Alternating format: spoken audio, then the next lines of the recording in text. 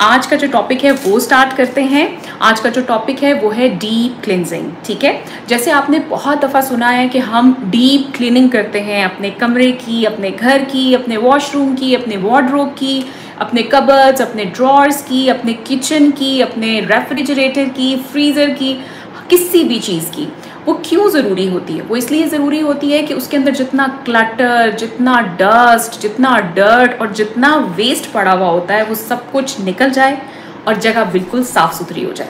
जो हमारा टॉपिक है क्लिनजिंग उसका मतलब भी डीप क्लीनिंग ऑफ़ स्किन ही है। डीप क्लीनिंग करना क्यों ज़रूरी होता है?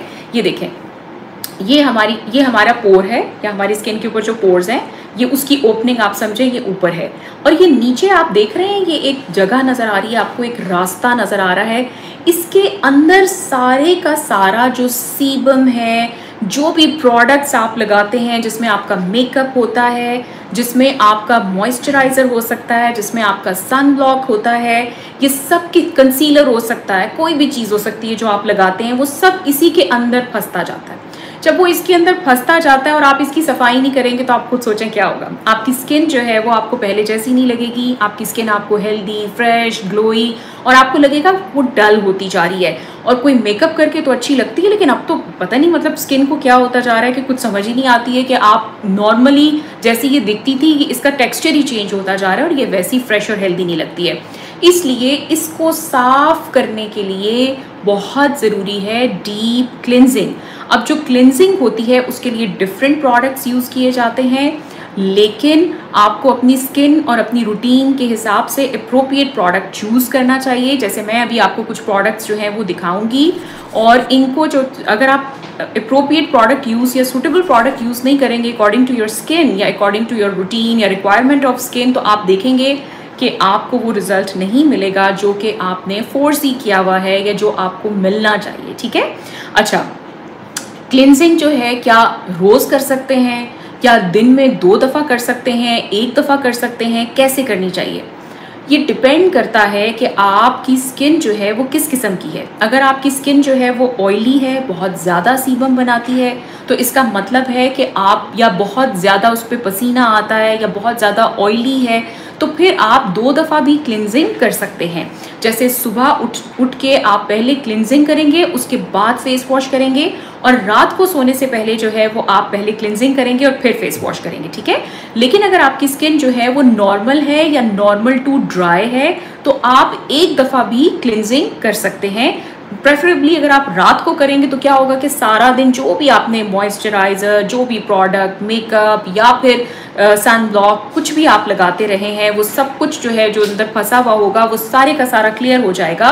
और एक और फ़ायदा इसका बहुत बड़ा ये होता है कि जब आप डीप क्लिनजिंग करेंगे और उसके बाद फेस वॉश करके अपनी नाइट एप्लीकेशंस लगाएँगे तो आप देखेंगे कि उनका रिज़ल्ट जो है वो कितना ज़्यादा और कितना अच्छा हो जाएगा, कितना बेहतर होगा और आपकी स्किन आपको पहले से इम्प्रूव्ड मिलेगी, ठीक है?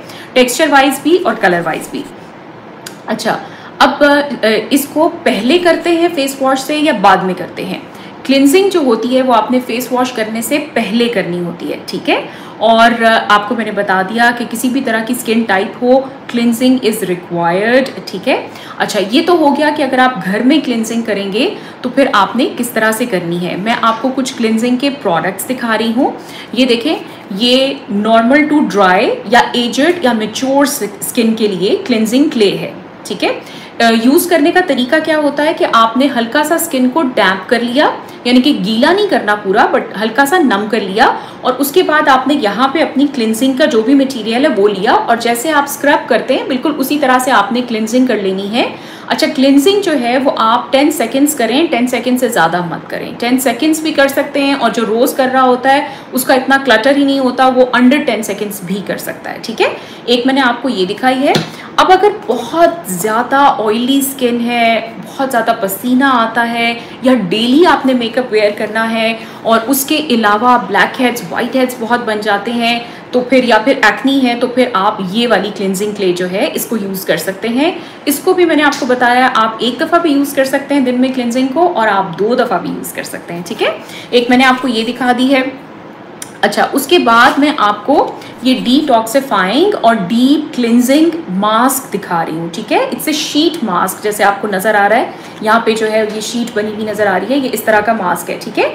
इसको जो है, वो आप वीक में एक दफ़ा यूज़ कर सकते हैं।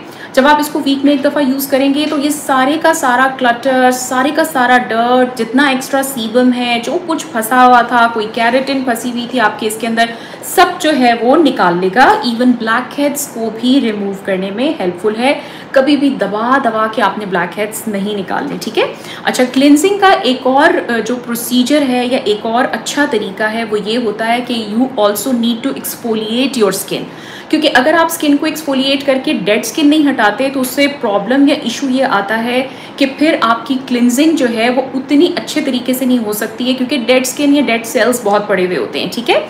इसके अंदर मैंने पहले भी दिखाया हुआ है लेकिन एक्सफोलिएशन के लिए जो है वो मैं आपको पील्स दिखा रही हूँ जो आप आ, महीने में दो दफ़ा यानी कि 15 डेज़ के गैप से कर सकते हैं।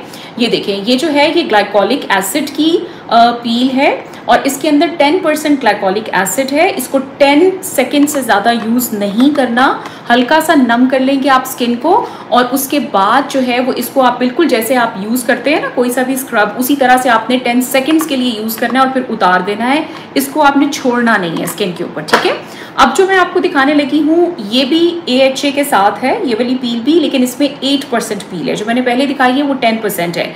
स्किन के हिसाब से अगर स्किन थिक है, बहुत ज़्यादा ऑयली है, पसीना भी आता है एक्नी प्रोन है तो फिर आप ये वाली कर सकते हैं। अगर आपकी नॉर्मल स्किन है या मेच्योर स्किन है या नॉर्मल टू ड्राई स्किन है तो फिर आप ये कर सकते हैं। तरीका जो है वो सेम रहेगा। अच्छा अभी देखें अब आपके जहन में ये क्वेश्चन आ सकता है या हमें पता होना चाहिए कि पहले क्या करते हैं। सबसे पहले क्लिनजिंग सबसे पहले क्लिनजिंग उसके बाद फेस वॉश उसके बाद आपने एक्सफोलिएट करना है, फिर आपने मास्क लगाना है and then you are going to use your toner ठीक है? तो ये फाइव स्टेप्स मैं आपको बता रही हूँ। पहले आपने क्लिनजिंग करनी है, फिर आपने जो है वो फेस वॉश करना है, फिर एक्सफोलिएट करना है, उसके बाद आप मास्क यूज़ कर सकते हैं और फिर आपने टोनर लगाना है। जब आप मास्क को उतारेंगे तो फिर टोनर ज़रूर लगाएँ, ठीक है? अच्छा ये देखें, ये मैं आपको इस तरह का टोनर दिखा रही हूँ, जो, जिसके अंदर तीन तरह की चीज़ें हैं, ठीक है?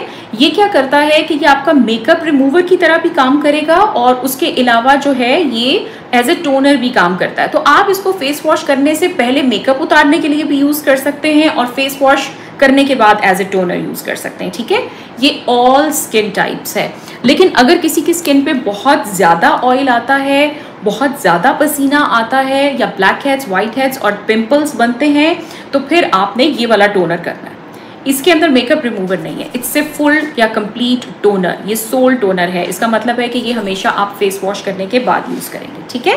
उसी तरह से मैं एक और आपको टोनर दिखा रही हूँ। ये कॉम्बिनेशन स्किन या सेंसिटिव स्किन के लिए है। इसके अंदर भी जो है वो आप वो नहीं करते। मतलब आ, क्या कहते हैं इसमें भी आपने ये एज ए मेकअप रिमूवर इसको नहीं यूज़ करेंगे। ये भी आपका जो है वो सोल आ, क्या कहते हैं टोनर है। इसको आप फेस वॉश करने के बाद यूज़ करेंगे ठीक है? अच्छा जो स्किन है उसकी सफ़ाई इसलिए बहुत ज़रूरी होती है कि अगर आप उसे साफ़ नहीं रखेंगे तो वो भी साफ़ नहीं रहेगी और जब साफ़ नहीं रहेगी तो आपको कभी भी फ्रेश और हेल्दी और अच्छी नहीं लगेगी ठीक है? अच्छा फिर बहुत सारे क्वेश्चंस या बहुत सारे लोग ये पूछते हैं कि भाई ये क्या मतलब सिर्फ़ आप बाज़ार से ख़रीद के क्लिनजिंग कर सकते हैं? क्या आप घर में क्लिनजिंग नहीं कर सकते? देखिए, आप घर में क्लिनजिंग तो कर सकते हैं, लेकिन जो किचन से आप प्रोडक्ट्स लेंगे या घर में से जो आप प्रोडक्ट्स यूज़ करेंगे वो जो है, वो अनकंट्रोल्ड फॉर्म में होता है। अनकंट्रोल्ड फॉर्म का मतलब ये होता है कि हमें नहीं पता होता कि उसके अंदर कितनी कॉन्सेंट्रेशन है किसी भी इंग्रेडिएंट की। वो भी आपको बर्न कर सकता है, वो भी आपको इरिटेशन दे सकता है और वो भी आपकी स्किन के ऊपर किसी भी किस्म की एलर्जी दे सकता है। इसलिए प्रेफरेबली ये ज़्यादा बेहतर है कि आप जो हैं वो कोई जो रेडी प्रोडक्ट है, जो कि रेडी मेड प्रोडक्ट है, जो कि अवेलेबल होता है, आप उसी को यूज़ करें रादर देन यूजिंग आपके किचन प्रोडक्ट्स ठीक है? ये ज़्यादा सेफ़ रहेगा। अब हम आ जाते हैं कि आप अपनी रूटीन में जो है वो क्लिनजिंग करते हैं और आप सारा ख्याल रख रहे हैं, सब कुछ कर रहे हैं और फिर भी आपको लग रहा है कि इतनी, क्योंकि गर्मी बहुत ज़्यादा है, आपको लग रहा है कि मेरी स्किन जो है ना, उसकी टोन उसका टेक्स्चर वो अच्छा नहीं है, वो अभी भी रफ लगती है और अभी भी फ्रेश नहीं लगती है या उसका टोन या उसकी अनइवन टोन जो है वो ठीक नहीं हो पा रही है।